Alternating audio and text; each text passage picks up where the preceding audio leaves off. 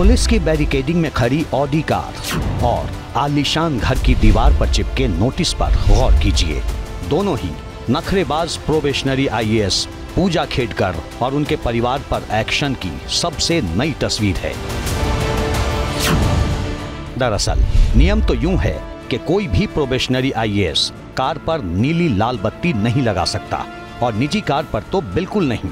पर पूजा खेडकर अपनी निजी ऑडी कार पर नीली लाल बत्ती लगाकर चल रही थी, जिस पर अब पुणे पुलिस ने जाँच की फ़ाइल खोल दी है। दस्तावेजों की जाँच के लिए पुलिस ने कार को जब्त कर लिया है।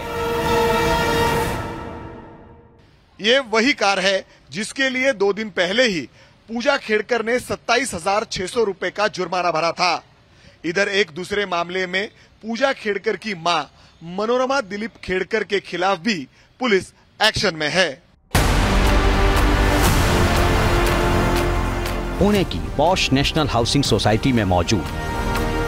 हाई फाई बंगले की दीवार पर चिपका ये सरकारी कागज़ खेडकर परिवार की परेशानी बढ़ाने वाला है। मामला लाइसेंसी पिस्तौल से किसानों को धमकाने का है, जिसका वीडियो कुछ दिन पहले ही सामने आया था। अब पुणे पुलिस का नोटिस आया है। पूछा गया है कि क्यों न पिस्तौल का लाइसेंस रद्द कर दिया जाए। पुणे पुलिस की तरफ़ से मनोरमा खेड़कर के इस बंगले के ऊपर नोटिस चिपकाई जा रही है। ये नोटिस इस तरीके की है कि आपका पिस्तौल का लाइसेंस रद्द क्यों नहीं किया जाए? क्योंकि मनोरमा खेड़कर के ऊपर स्थानीय किसानों को धमकाने का आरोप लगा है। पिस्तौल तान कर और इसी के चलते पुणे शहर पुलिस ने ये कार्रवाई शुरू की है। पुणे के बानेर इलाके में खेड़कर परिवार का ये ओमदीप नाम का बंगलो है और इसी बंगले में मनोरमा खेड़कर जो है, वो रहती है। पुणे पुलिस ने जब मनोरमा खेड़कर को संपर्क करने की कोशिश की तो मनोरमा खेड़कर नहीं मिली और ना ही उन्होंने पुलिस का फ़ोन रिसीव किया। किसानों को पिस्तौल दिखाकर धमकाने का मामला पुणे की मुलसी तहसील का है। जहाँ खेडकर परिवार की 25 एकड़ ज़मीन बताई जाती है। आरोप है कि खेडकर परिवार खरीदी गई ज़मीन से ज़्यादा पर कब्जा किए हुए है। किसानों ने विरोध किया तो उन्हें पिस्तौल दिखाकर धमकाया गया। मेरे माताजी और पिताजी खेती का काम करते रहते तो उस दिन मतलब मई महीना, मई जून में वो खेड़ेकर दिलीप खेड़ेकर और मनोरमा खेड़ेकर लैंड क्रूजर गाड़ी से यहाँ आए थे और उन्होंने मेरे माताजी और पिताजी को गाली दिया और दमदाटी किया और उन्होंने मेन करके इधर पिस्टल दिखाया और पिस्टल का धाक दिखाया। दिलचस्प है। पहले पूजा खेडकर के नखरों की स्टोरी सामने आई। प्रोबेशन पीरियड में निजी केबिन और स्टाफ की डिमांड की बात सामने आई। और उसके बाद तो फर्जीवाड़े की कहानी खुलती चली गई। इस कड़ी में पूजा खेडकर की ओर से पेश किए गए सर्टिफिकेट भी सवालों में है।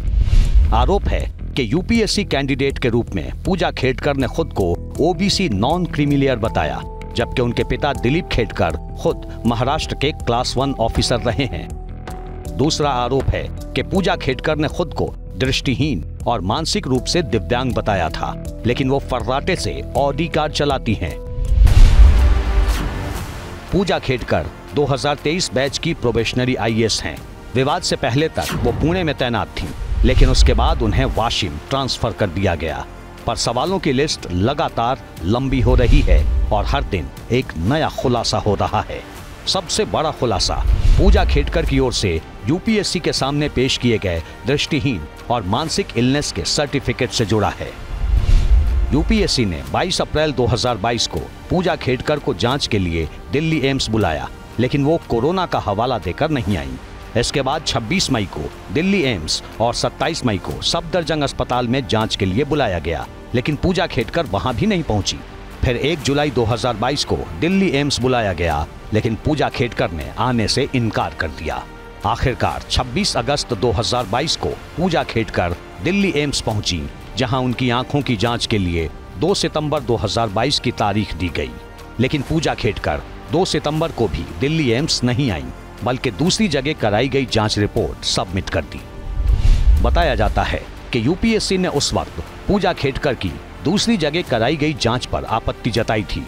मामला सेंट्रल एडमिनिस्ट्रेशन ट्रिब्यूनल, यानी कैट के पास गया, लेकिन बाद में उन्हें बतौर प्रोबेशनरी आईएएस महाराष्ट्र कैडर में भेज दिया गया। खास बात तो ये है कि उनकी पहली ज्वाइनिंग उन्हीं के होम टाउन यानी पुणे में कर दी गई। पूजा खेड़कर का आईएएस में सिलेक्शन होना पहले दिन से वो शक के दायरे में आया है। आईएएस ही, ये अपने देश की एक बहुत बड़ी ऊँची सेवा है। इसके लिए लाखों लोग बैठते हैं और बहुत कम लोग चुने जाते हैं। वहाँ चुनकर आने के लिए, वो सर्विस पाने के लिए बहुत ईमानदार और सख्त लोगों की ज़रूरत होती है। जो व्यक्ति खुद ऐसे कुछ गफला करके आया है, वो एडमिनिस्ट्रेटिव सर्विसेज़ में के काबिल नहीं है। उन्होंने कुछ भी किया तो उनको कोई ज़्यादा फ़र्क नहीं पड़ा, वो सर्विसेज़ में बनी रही। इसका मतलब साफ़ ज़ाहिर है कि इनके पीछे कोई ना कोई पॉलिटिकल ताकत है। उनका तबादला, ये कोई उनको पनिशमेंट नहीं है। ज़ाहिर है प्रोबेशनरी आईएएस के रूप में गैर ज़रूरी डिमांड से शुरू हुआ विवाद अब फर्जीवाड़े की फाइल्स तक पहुँच चुका है, जिसकी जाँच की आँच पूजा खेडकर के साथ ही उनके परिवार की भी मुसीबत बढ़ा सकती है।